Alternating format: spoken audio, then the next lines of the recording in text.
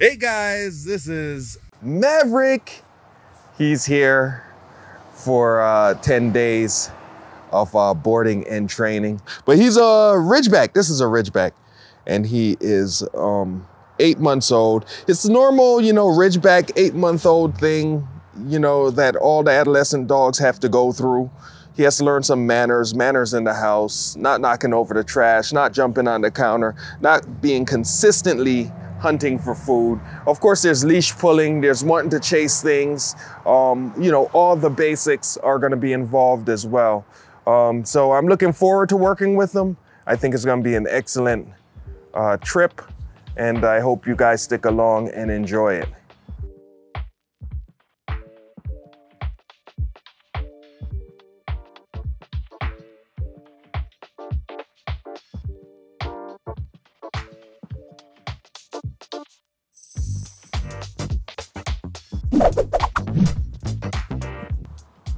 Hey friends, this is Martin Wright from Argos Dog Training up here in Boston, and I'm very excited because in a few minutes Maverick is gonna come. Maverick is an eight-month-old Rhodesian Ridgeback. He's gonna come here, he's here for training for 10 days. He'll be with me Monday through Friday, and then the next week, he'll be with me Monday through Friday. During those days, I'm gonna make videos with this dog of things that we're working on. Frank is gonna edit those videos together and show you a full picture of what you can expect with the dog trainer. So, with no further ado, here he is. Hi, Sarah. Hi. How are you? Good. How are you? Good. You ready? Are you ready, Maverick? You want to go see Martin? Yeah, he's ready. He's ready. It's, it's all right. Just let him come in normal. We're, we're going to be starting today, so it's fine. Excellent. Hi, welcome. Hi. It's good to see you again. Hi. How are you? Excellent. Gray collar. As we go through the training program, every day I do a nose to tail check on the dog. Um, I look for anything that is unusual. I also check their weight. I make sure that they're eating their food, you know, and that their weight is right, because I don't want the dog to go home looking malnourished. If a dog stops eating while he's with me, I send him home. That never has happened. At, you know, over a few days, I'll send them home. If they don't eat the first day, when you have some dogs that are really dealing with anxiety issues, shyness, and real severe um, emotional problems, then they might not eat but I need them to start eating by the third day. And if they're not eating by the third day, then they have to go home because I'm not gonna let them stay with me and lose a bunch of weight. Um, these are customer service and quality care issues um, that I think that dog trainers sometimes do not pay attention to, and it causes problems you know, with uh, with the board and train and with the professionalism in the industry. Um, it is something though that I pay attention to a lot. So, um, anything that uh, anything about his health or anything? Um, his stools have been pretty normal. Is there anything unusual about him? Anything that any scratches? Anything like that? no, he's been licking his feet a lot. I don't know what that is. I noticed that's a newer All right. thing. Like Um, paws. All right. Do you know which? Is it all of them? Any of them? Or do you know which one? All of them, and I che- like it kind of trades off. And I looked at them. I didn't Hey. see anything that looked like a cut or anything. Yeah. So I don't. All I right. don't know what that's about. He might Uh, just be. Yeah, and he scratched his ear. That's red. Yeah, That's red and uncomfortable. he scratched. This maybe one looks normal. Normal. Yeah. So Right. I don't. He's scratching that one. I know. I know. Whoa. Let's go here. I know. This is so annoying. Martin is so annoying. Ah, I'm gonna have to look again inside there. Yeah. Inside the mouth. The ear just looks like it's scratched and a little bit red. His, yeah, I think he scratched it with his paw. I know. I know. You don't like I know. I have to check you though. It has to be done. Some dogs I can't do it. Oh, oh I'm the. Come here. Hey, look what I got. I got food for you. Here, Rhodesian, maybe you'll take the food. Excellent. Look right here. There's a bunch.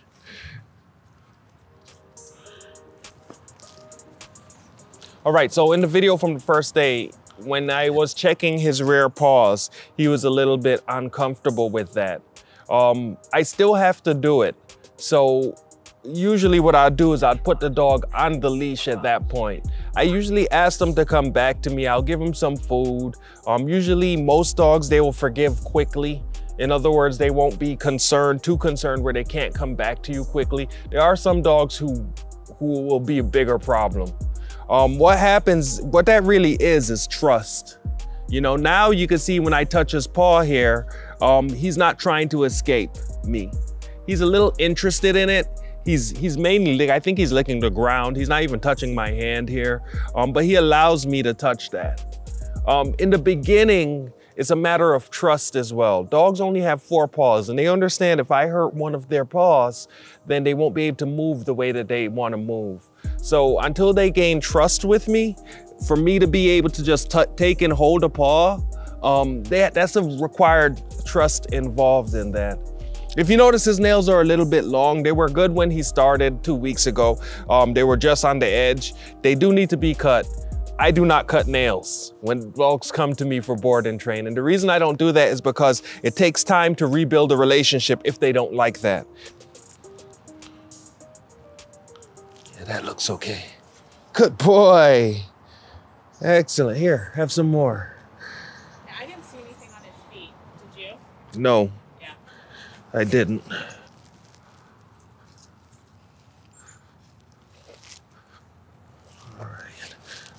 I don't see anything right now, but I always do another, I do a check every 24 hours, Sure. but I don't see anything. He looks really good. Um, his, there are some pink spots like right here, but that could be some of the irritation. We have to also remember this is his first fall. So there could be seasonal stuff and all that um, going on. Let me take one more look at your ear if I can, please. You're such a good dog. Yeah, that's red. Yeah, you want to come look? It was this ear here. It was really red on the inside. Um, and I thought there, there was an ear infection. With the ear infection, you can smell a yeasty smell. Um, and that's what we're trying to do. Has he been shaking his head a lot? Like more than usual? All right, I'm gonna put some more down, take a good look. Ready? Yeah. Here we go. Go, go, go. Flip his ear. Take a look. Yeah. It's a little red in there. Is it all the way down the ear canal? It looks like it might be. Um, want me? All right. See if you could take a sniff.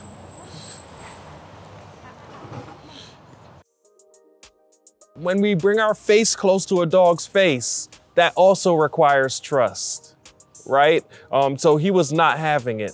Later on, I had his owners bring him to the vet um, while they had him over the weekend, um, and they found out that it's actually an allergy, an environmental allergy, due to the um, fact that we are having really warm weather in November. Um, so they gave him some antihistamines or something, and and now his ear is a lot more. He's a lot more comfortable with it. He'll allow touching. I could look at it, all those kind of things, and he doesn't care. Nah, I couldn't get it. Let me Can't get it. Let me. Let's just do this. Let's do this. Here we go. Here we go. If I just hold him steady here, go ahead. I forget what the patents have. No, you'd know. You know. you'd know right away. Like dog, but like Yeah, like yeah. If it was if it was an ear infection, you'd know right away. You'd be like, dear. It's- it's it's yeah. Once again, though, it could be some environmental allergy. It could be any old thing. Yeah, we're done with your food. All right, so we're gonna walk down to the back. Once we get back there, um, you wanna grab your, your pouch definitely. Once we get back there, I want you to say bye to him back there, and then we'll be able to come up, come back up. Um, I know it's a lot about stools, but normally his first poop is probably pretty solid. Yeah. And then does it stay get softer during the day?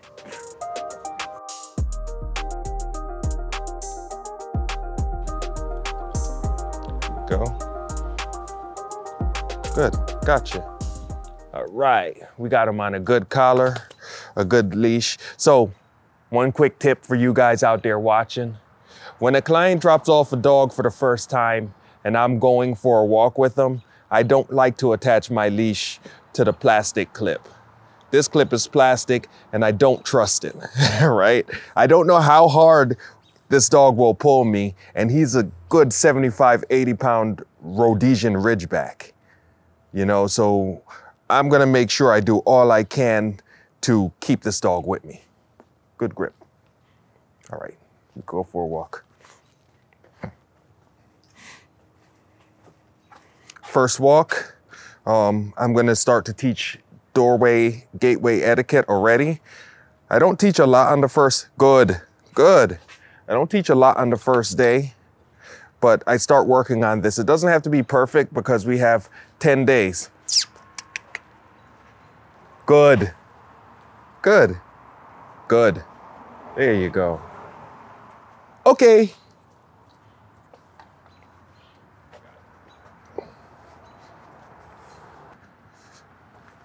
First walk.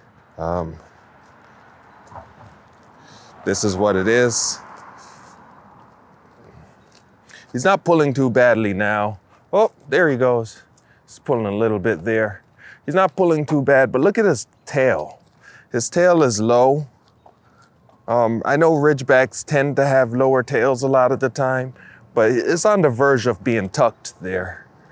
Um, but otherwise, his body language looks good. Doing what dogs do.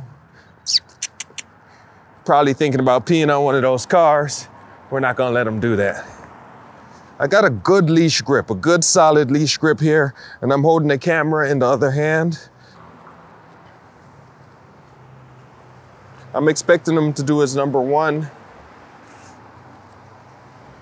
and we'll see. All right, so this is our first walk. All in all, this is not the worst I've ever seen. Good boy. I'm not giving treats because I'm holding the leash, um, but I, that's worthy of treats right there. And that's only gonna make him pay more attention to me as we go. Um, all in all, he is paying more attention than most dogs do at least so far, but this has only been the first couple minutes of the walk. We'll see how he does um, as we go on a little bit more. Um, you know, he might get a little excited and not want to pay attention as much. But he is walking definitely out in front of me, and there is tension, steady tension on the leash, especially when he it's uh he's going somewhere that he wants to go. There's tension. Let's go, buddy. Ah, he responded to that nicely. He saw somebody over there, no reaction. Excellent.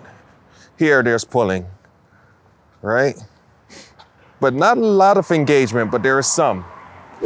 Cool thing about Maverick here is that his owner has another dog named Peyton, and Peyton is also a Ridgeback. And um, they worked with me last year, so I could already tell that Maverick understands some things within the system that we use for communication. Like he knows where to come and get the treat. A lot of dogs, I have to teach that to him. That alone already could start to change the way that he walks just because he knows that I have treats and he knows where to get them. He's a little being a little bit nervous now. He's not taking that treat right away. Look out for that sign, Frank. I'm helping Frank out with his recording. So there's some dogs barking in this backyard, and I'm gonna watch how Maverick responds to that. He does not care. I heard the dogs, which means that he heard the dogs too. Now he looks, yep, he just little look, that's all it is. Good boy. I think he's too, he's more like checking out the environment because it's his first time here and he's not really, he's just check, everything needs to be checked out. Let's go. Good. Yeah, I got food for you. Excellent. Good dog. Excellent.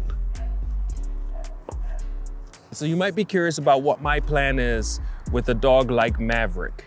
Maverick, first of all, is an eight and a half month old adolescent Rhodesian Ridgeback.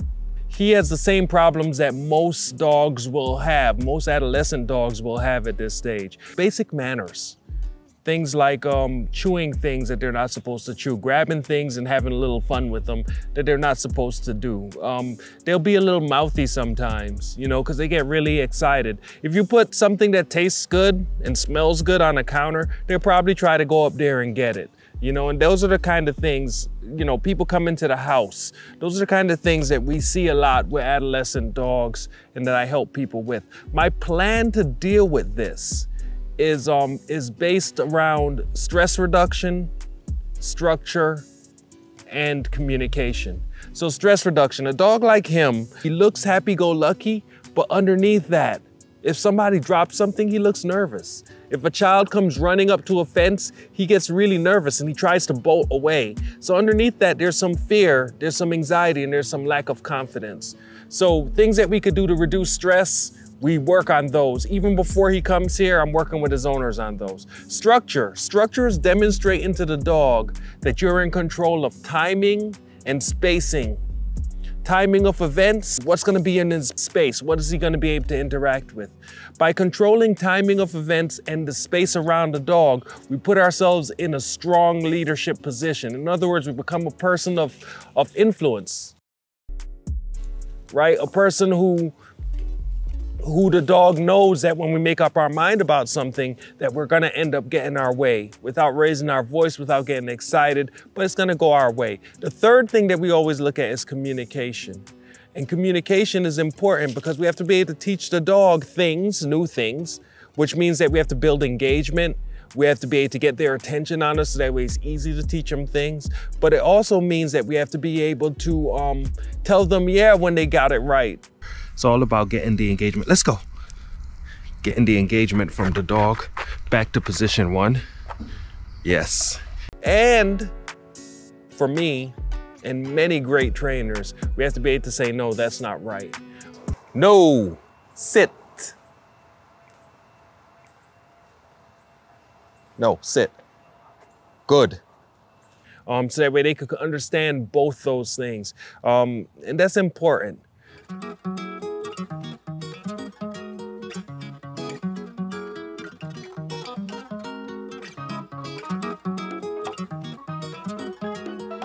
Good job. Here we go again. I stop here. Yes, he sits automatically. I want that for the heel command. Good boy. Yes. Good job. Drop the leash as a trick. Yes. He didn't get off when I dropped the leash. He gets food for that. There he is.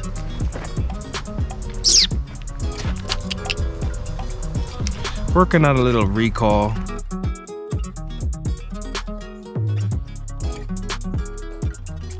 There you go, good boy.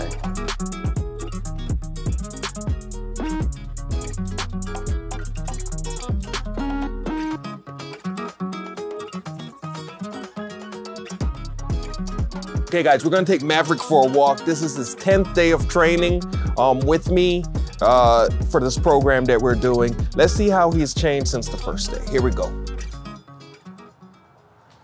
Good.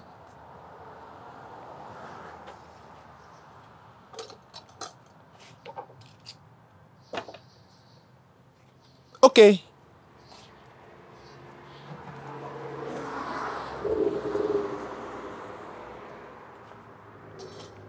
There's a chance that the first day that he came, he was either um, looking around, moving around, passing the lines that I have set for him, the boundaries that I have set for him. There's a good chance that all that was happening. But now you can see when we went out there, he was giving me attention, which has been something that I've been focusing on with Maverick uh, since the beginning. Because attention is the first step, engagement is the first step to be able to solve unwanted behaviors. Yes. Good boy. Excellent. We can see here as I'm walking with Maverick, now he's walking next to me, a little bit behind me. He's paying attention. He's matching my pace. So if I sped up, he would speed up with me. If I slowed down, he would slow down with me. So he's matching my pace. I'm not doing anything with him yet.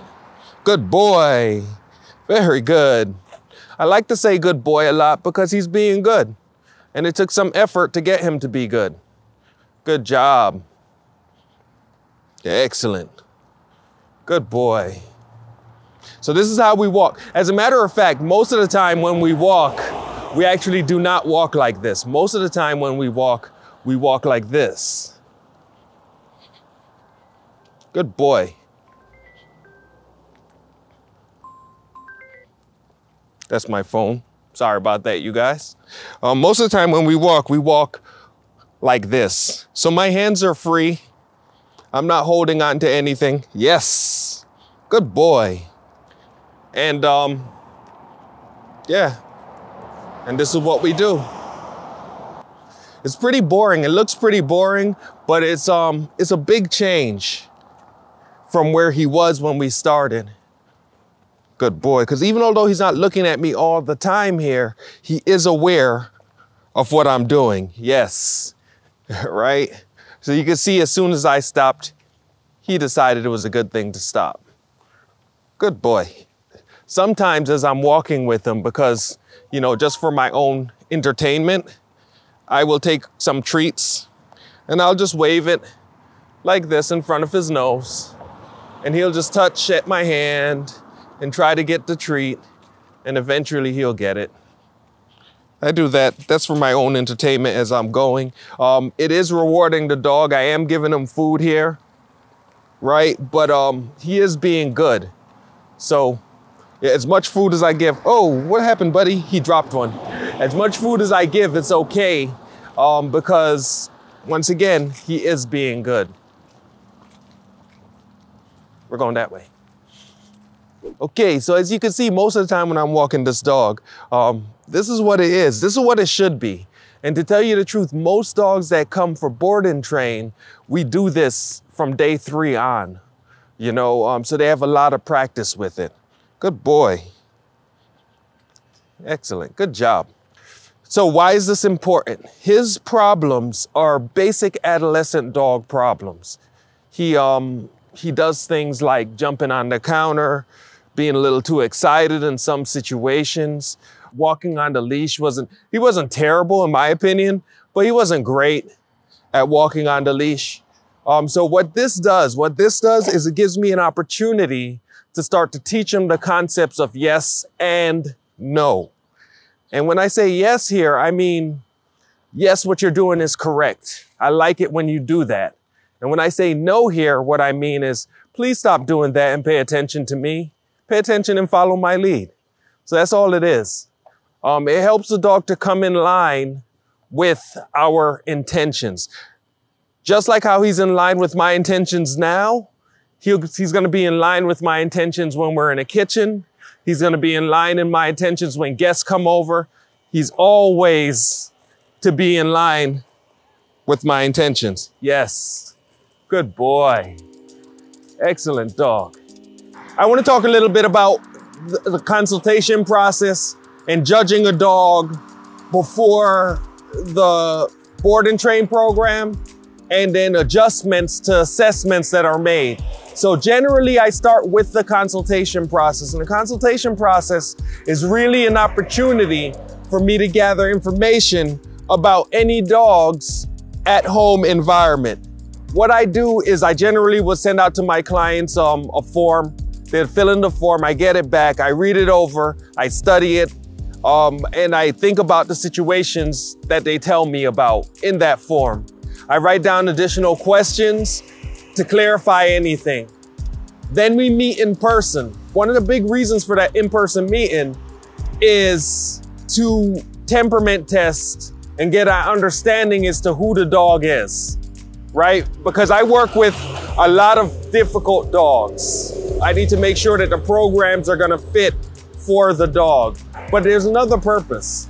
And the other purpose is for me to meet the owner of the dog to make sure that the owner of the dog is going to follow the advice and instructions that I give, right? And there's a third purpose. The third purpose is for the owner of the dog to meet me and to decide if if my advice is advice that they, they want to follow. If any one of those things are off, then I do not take the contract.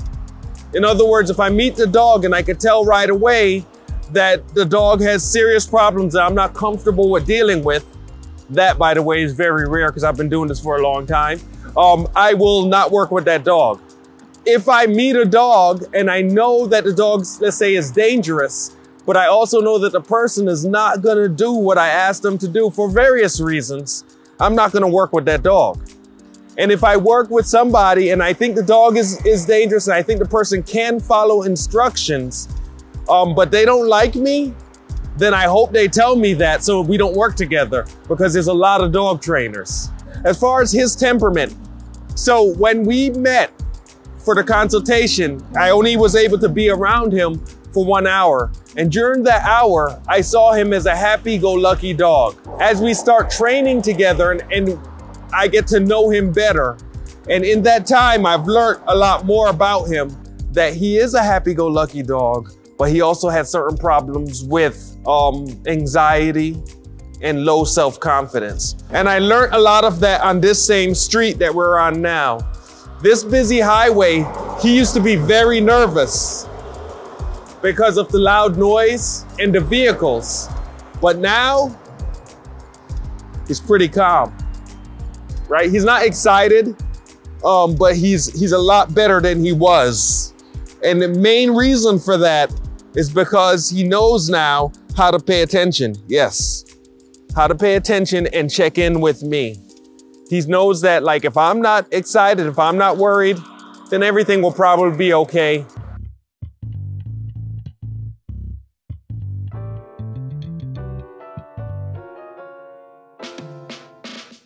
So I know very well that I've only been with them for 10 days.